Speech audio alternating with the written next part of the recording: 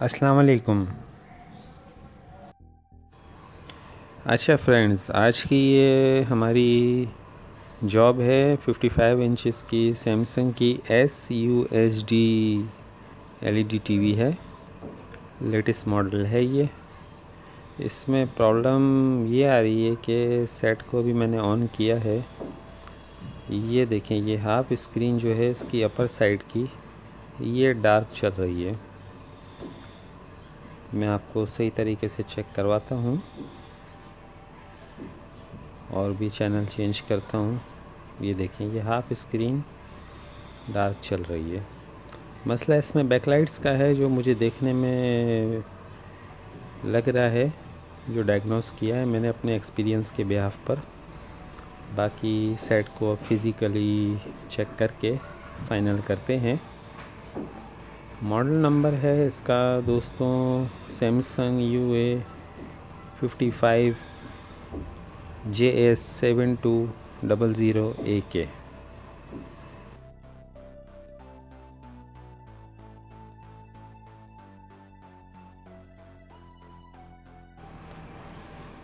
set को open किया है मैंने और अब इसका ये मैं मदरबोर्ड डिस्कनेक्ट कर रहा हूँ पावर बोर्ड से।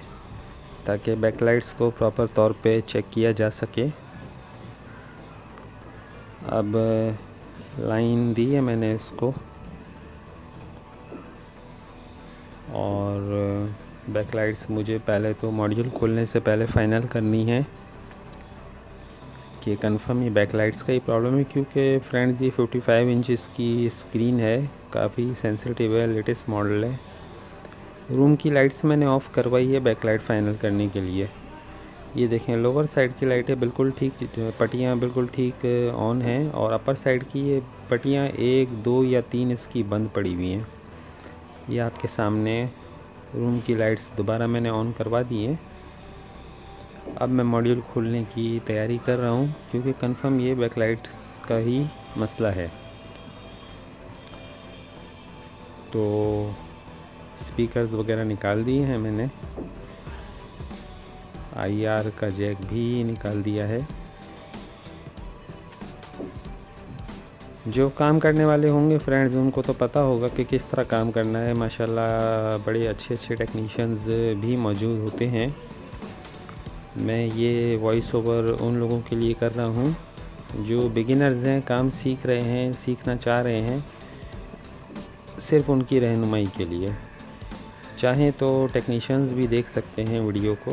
उसमें कोई कबाहत नहीं होती है, कोई दिक्कत नहीं होती है। अच्छा सेट को मैंने मूव किया है। अब फ्रेम मुझे इसकी अपर फ्रेम आउट करनी है, जो मैं कर रहा हूँ।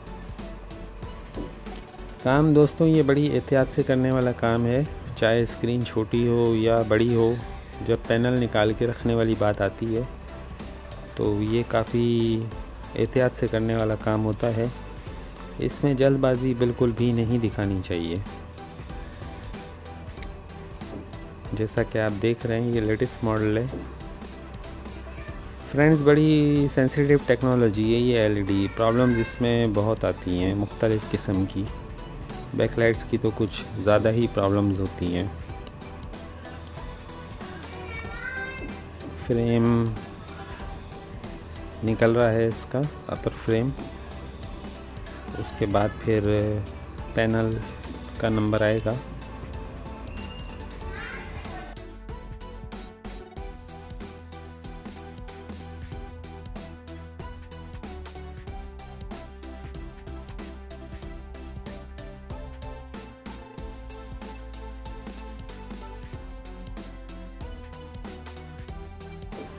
फ्रेम के टॉप साइड्स पर स्क्रीज भी लगे हुए हैं। वो खोल रहा हूँ मैं। उसके बाद फ्रेम इसका निकल जाएगा।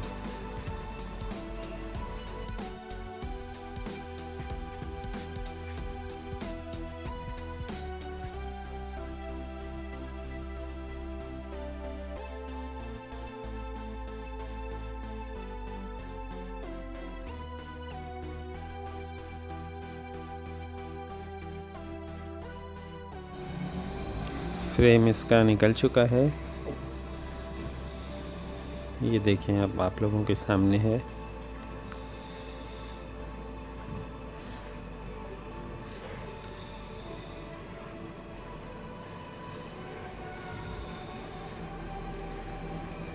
अब इसका पैनल निकालेंगे। मूव कर लेता हूँ साइड को मैं, ताकि ये एफ़ पी सी रिबिन्स वाली साइड मेरी तरफ़ आ जाए। और कोई दिक्कत ना हो पैनल को उठाने में, क्योंकि इसके स्केलर पट्टियों का भी तो ख्याल करना है ना, और खुलनी भी है।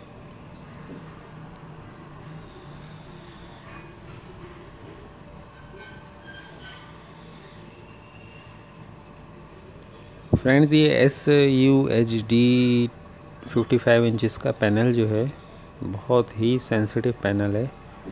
और ये बेसिकली ये हैवी बहुत है ये पैनल। इसके हैवी होने की वजह से मैं इसमें हेल्पर की हेल्प ले रहा हूँ, क्योंकि मैं किसी भी किस्म का रिस्क नहीं लेना चाहता। और पैनल में प्ले बहुत है। अगर मैं इसको वैसे तो नॉर्मली पचपन इंच का भी पैनल मैं खुद ही उठा लेता हूँ, लेकिन ये काफ़ी हैवी पैनल है। इसमें प्ले बहुत है। अगर मैं अकेले उठाऊँगा, ये दूसरी साइड से झुक जाएगा। इस वजह से मैं हेल्पर की हेल्प लेकर पैनल उठा रहा हूँ। उठा लिया है पैनल मैंने और अब इसको मैं सेफ़ जगह पर रख कर रिटर्न आता हूँ।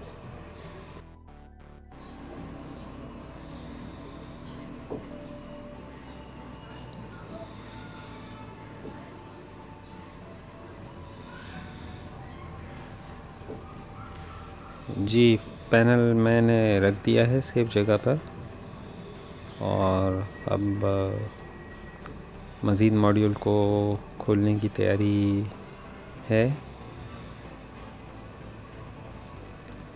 अब इसकी जो ये पैनल सपोर्टिंग पट्टियाँ होती हैं, ये निकाल रहा हूँ मैं, जिस पर पैनल जो है वो टिका हुआ होता है। इसमें एक ही फ्रेम नहीं है, जो लोअर फ्रेम होता है, पैनल सपोर्टिंग, वो एक ही नहीं है, इसमें फोर पीसेस में है। क्योंकि बड़ी स्क्रीन है ना।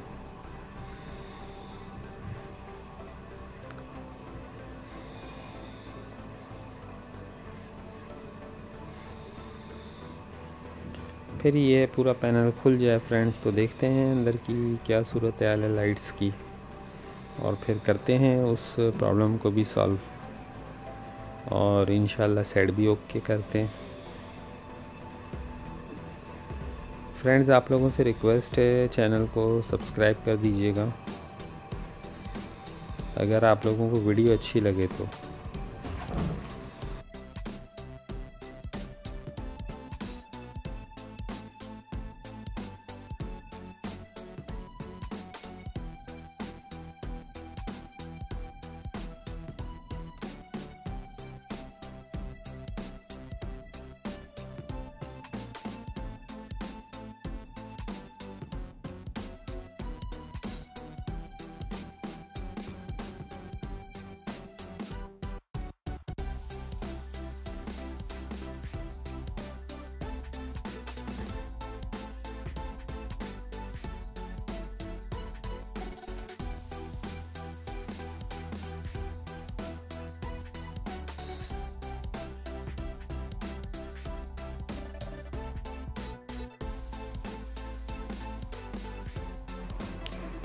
ये टॉप साइड की जो सपोर्टिंग पट्टी है पैनल की, ये ज़रा मसला कर रही है।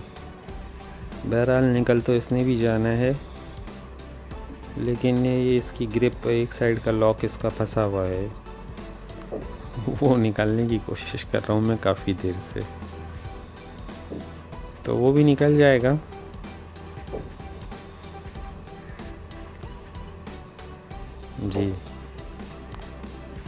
फ्री हो चुका है मॉड्यूल पूरा। अब इसकी ये सारे इसके पेपर्स और शीट्स वगैरह उठा रहा हूँ। और ये भी रख कर आता हूँ बैकलाइटें सामने आ चुकी हैं।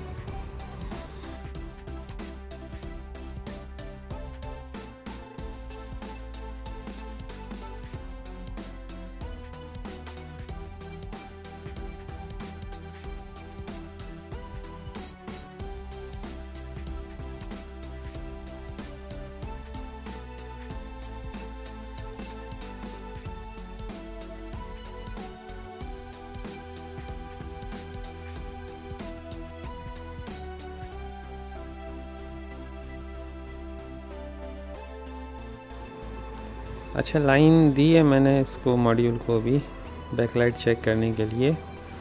लेकिन आप ये देखें कि जब खोलने से पहले इसकी ऊपर की लोअर अपर साइड की इसकी बंद थी पट्टियाँ कुछ एक, दो या तीन, जितनी डार्कनेस आ रही थी। लेकिन अब मॉड्यूल खुलने के बाद कोई भी पट्टी इसकी बंद नहीं है। कुछ बल्ब इसके जो है वो फ्यूज़ हैं। लेकिन वो बल्ब फ्यूज़ होने की वजह से अपर साइड इसकी डार्क नहीं होनी चाहिए। तो अभी मैंने इसका ये नुक्स फ़ाइनल भी कर लिया है कि क्या मामला है, मैं बताता हूँ। पहले तो मैं ये इसके कन्वर्टर का जैक चेक कर लूँ, इसमें तो कोई लूजिंग नहीं है, लेकिन इसमें किसी भी किस्म की कोई लूजिंग नहीं है। थोड़ी सी इसको हेमिंग वगैरह करके भी अभी मैं देखूँगा कि कोई लाइट बंद तो नहीं हो रही अपर साइड की। किसी किस्म की कोई लूजिंग हो और खोलने करने में ये ऑन हो गई हूँ। लेकिन हेमिंग से भी कोई फ़र्क नहीं पड़ेगा, ऊपर की पट्टियाँ बंद नहीं होंगी। तो उसका जो मसला निकला है, वो भी मैं आप लोगों के साथ अभी शेयर करता हूँ। ऑन तो पूरा मॉड्यूल हो रहा है। ये देखें, लेकिन इसके कुछ बल्ब हैं, बंद है। एक ये दो डिम जल रहे हैं, इसके तीन हो गए। ये चौ, चार, पाँच पाँच बल्ब हो गए हैं अब तक। ये इसके तीन फ्यूज़ हैं, दो बिल्कुल डिम हैं इसके। वो भी चेंज होंगे इसके। ये छठा भी है मेरे ख्याल से। देखें, वो जो दो थे, उनमें से भी एक ब्लिंक कर रहा है। ये सब चेंज होंगे। अच्छा फ्रेंड्स अब पहले ये देख लें, जो अपर साइड की इसकी पट्टियाँ बंद थी, या एक, दो, तीन, मुझे कंफर्म नहीं है।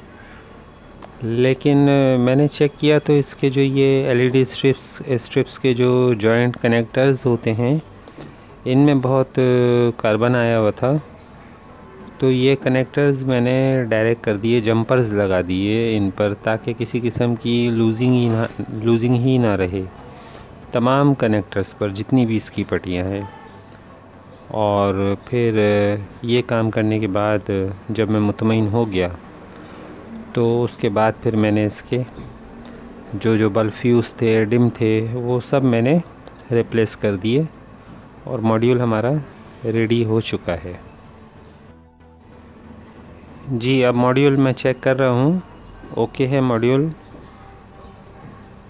जो भी बल्ब वगैरह थे, वो सब मैंने रिप्लेस कर दिए हैं। अब तमाम लाइट्स इसकी ऑन है और अब फिटिंग की तरफ़ बढ़, बढ़ते हैं।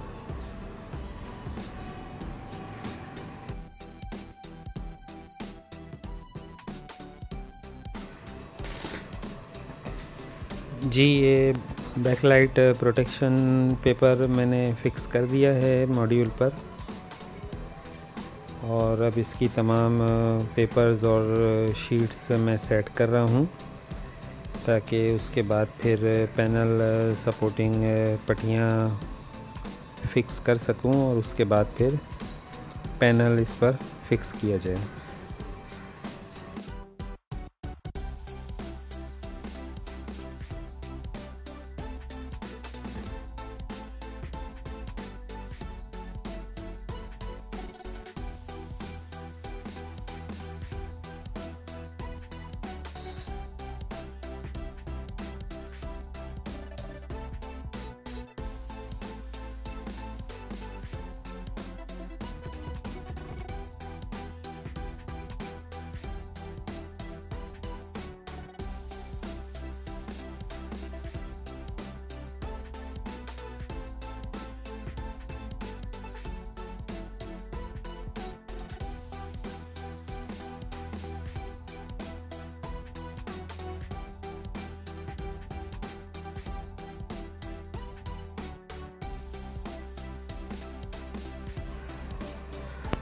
जी ये पैनल सपोर्टिंग पट्टियाँ फिक्स हो रही हैं।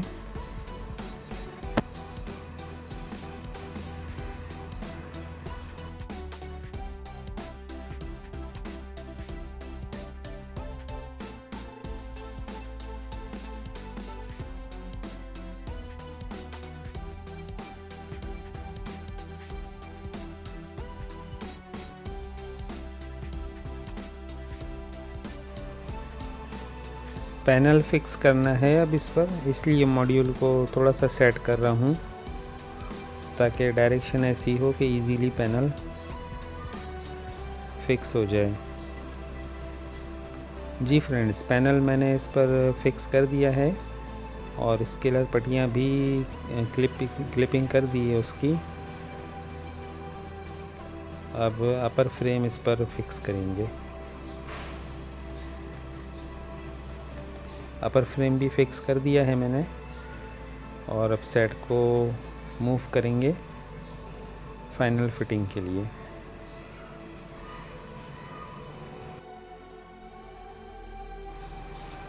F P C ribbons refix कर रहा हूँ फ्रेंड्स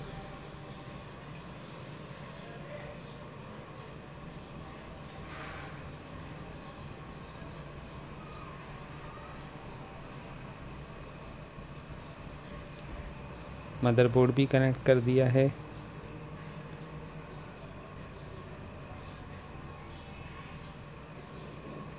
आईआर का जैक।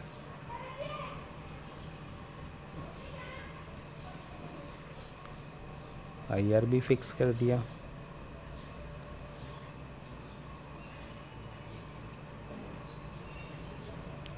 ये स्केलर फ्रेम अब फिक्स होगा इस पर।